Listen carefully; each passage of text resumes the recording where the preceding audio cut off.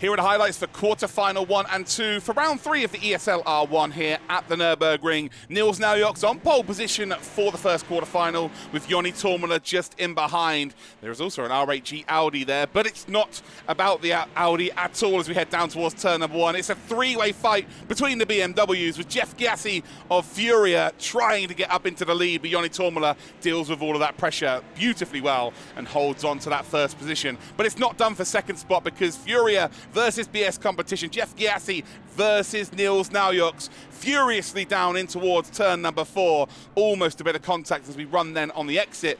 You see the Furia car just get across the bonnet of Nils Naujoks and hold on to that P2.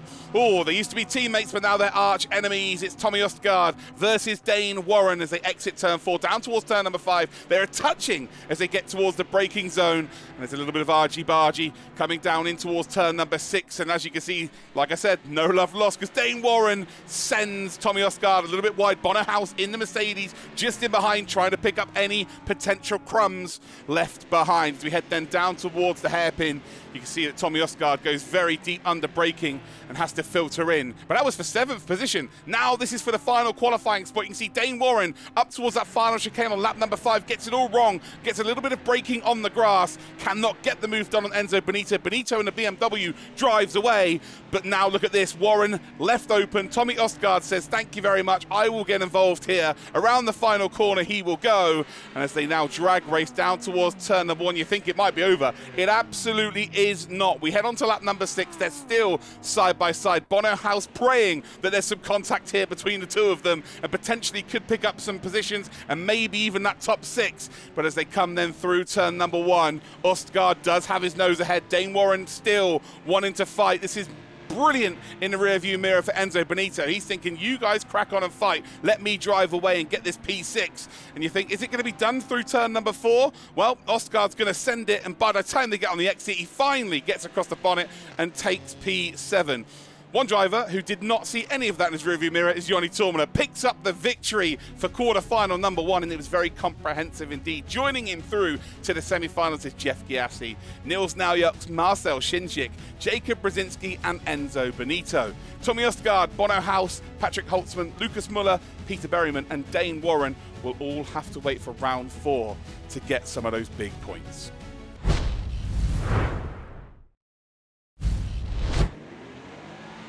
Now it's time for quarterfinal number two, and it was Erhan Jajovski who was on pole position, and Ryan Barneveld was in second. Darren McCormack in that Mercedes is in third, but the big send, it was Eamon Murphy for G2 Esports, moves from sixth up into fourth position. It was beautifully done. It was maybe a little bit aggressive, but there was no contact indeed. But it's all about Oliveira now. Oliveira has a battle throughout the entirety of this race, trying to hold on to a top six position. As you can see there, he's in behind Mikel Gala. We're on board right now in lap number three. Sends one down the inside of Eamon Murphy, trying to hold on to a P4. Murphy's like, absolutely not. I've worked too hard to be in this position. I am not giving this up for three. And then all of a sudden, Kevin Ellis Jr., one of the most successful drivers in this championship, makes it three wide down towards turn number three. They all managed to get through okay. Oliveira does indeed hold on to that top five. Kevin Ellis Jr. sent off wide. And now all of a sudden, Kevin Siggy gets involved. Siggy makes makes a late lunge down in towards the hairpin on lap number three, and it's the biggest shock of the day. Kevin Siggy makes a mistake all on his own. Didn't seem like there's any contact. The rejoin, well, that's questionable. Nearly takes out a car, but Kevin Siggy, unfortunately, is out at this stage of the competition. Back to the Oliveira show then, as he goes back up into P4. Eamon Murphy, this time around, has to be a bit more aggressive to try and retake that fourth position. Doesn't really need to do so, but ultimately giving us a show to watch indeed. Love to see it. Kevin Ellis Jr. just sat patiently in behind in P6, hoping to pick up some insurance by getting an extra position because he's got Moritz Lohner in behind. Down towards turn number five, the two BMWs creating a roadblock. And again, Kevin Ellis Jr. just got to be patient. Oliveira ran off into the grass, still manages, though, to maintain that top five position. And you think this is over, ladies and gentlemen. It is not. This is for the final qualifying spot to go through to the semi-finals. Oliveira takes that defensive line down towards the hairpin. Kevin Ellis Jr. trying to find a bit of momentum around the outside, then has to go defensive on Moritz Lohner. But this is the mistake that cost the Brazilian. Makes one error as we head onto the back straight before we get into that final chicane, and this ultimately cost him the position with, Kev, uh, with Kevin Ellis Jr., and then Moritz Lohner was able to pick up the pieces a little bit later on. But look at this, it's still close here, almost three wide between all three drivers. Ellis Jr. then round the outside, not really left enough room. He then's under pressure all of a sudden from Moritz Lohner. You can see then that Mitchell de Jong then comes through as well. You've got Tim Jarschel for FaZe trying to get involved in this party. And again, you think it's over. It absolutely is not over. These drivers were racing like this from start to finish. It was absolutely sensational. And again, Jajovski, who won the race, has no idea that was happening behind him. But Jajovski did take the checkered flag and did take quarterfinal number two. Joining him through to our semi-final one is Dara McCormack, Ryan Barneveld, Eamon Murphy, Moritz Lohner, and Kevin Ellis Jr. because Oliveira had a penalty in the end of a slowdown. Mitchell de Jong finishes in seventh, Oliveira in eighth, Kevin Siggy ninth, James Baldwin in 10th, Tim Jarschel in 11th, and then Mikael Gala is in 12th spot.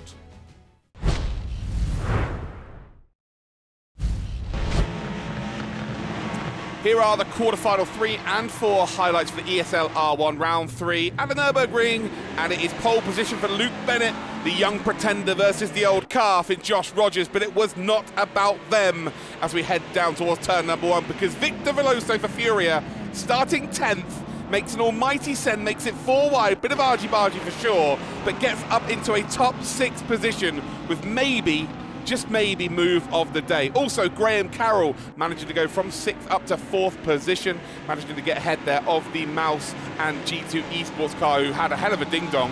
Uh, there was a little bit of oversteer for Isaac Price out of turn number one, which actually sent uh, the MOUZ car, Max Benecke, a little bit wide up towards turn number two. But the return of the favour happened.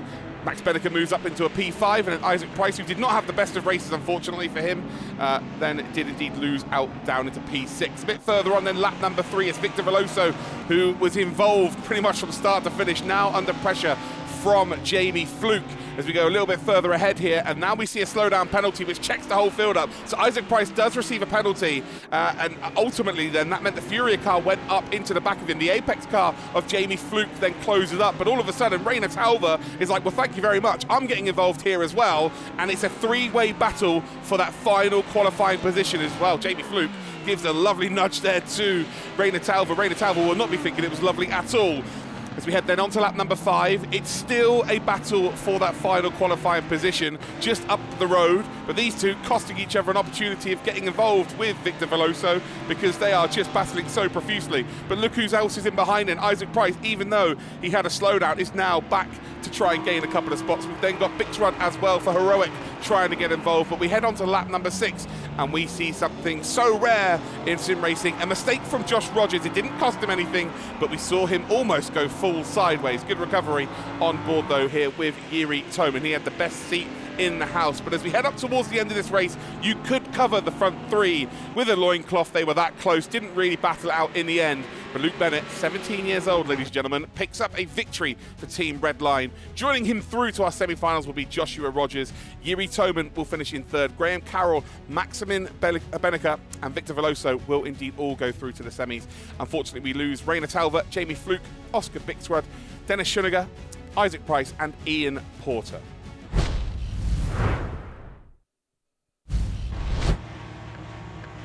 In quarter-final number four. It was Yuri Kasdorp who had a terrible rounds one and two, who started at pole position, and it was another Furia driver, but this time on the front row. It's Felipe Baptista. In third was Team Redline's Jeffrey Rietveld. And well, the big story here is Robbie Stableford. Before the race had even begun, he jumped the start, and unfortunately, with drive-through in a 15-minute race format, your race is over. So Robbie Stableford with a DNF. Uh, such a shame, you know, all that practice to unfortunately make one mistake. We head then on board with Marco Pajic, who was in the fifth position, but look at that slide. That slide cost Pajic two spots. The Phil Denez comes through, says thank you very much. And Nikodem Wisniewski, who found a gap that just didn't seem to be there, manages to get involved here. They're still side by side on the exit of turn number four. By the time they get down towards turn number five, Wisniewski had indeed got that top six position. And then it was a battle here between Tartala and Johan Harf. Uh, so if you don't get into the top six, it's all about making sure you finish as high as possible because this is the race that you're going to gain points if you're not going through to the semi-finals. We see a little bit of, co contact there between Williams and BS competition. Phil Denez just about holding onto the car. Marco Pajic who for four laps threw everything at Nikodem Wisniewski. Wisniewski did not crack under the pressure, and for the first time, we see that Marco Pajic just about had his nose up in front. Wisniewski was never going to give it up easily, but the invitation was then open to heroic driver Thomas Tartala, who absolutely accepted that invitation, did get involved, and while this battle just kept going on and on and on. We're heading up towards the final sector of lap number six. For the first time, though, there was some side-by-side action between Pajic and Tartala. And Nikodem Wisniewski, for the first time, had a bit of breathing room as well. He would have been looking in his rearview mirror thinking, oh, this is brilliant.